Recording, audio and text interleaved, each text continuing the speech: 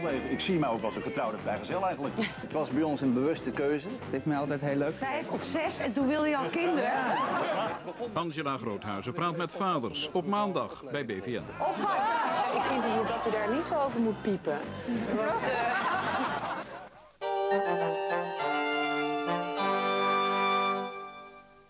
Eh. NOS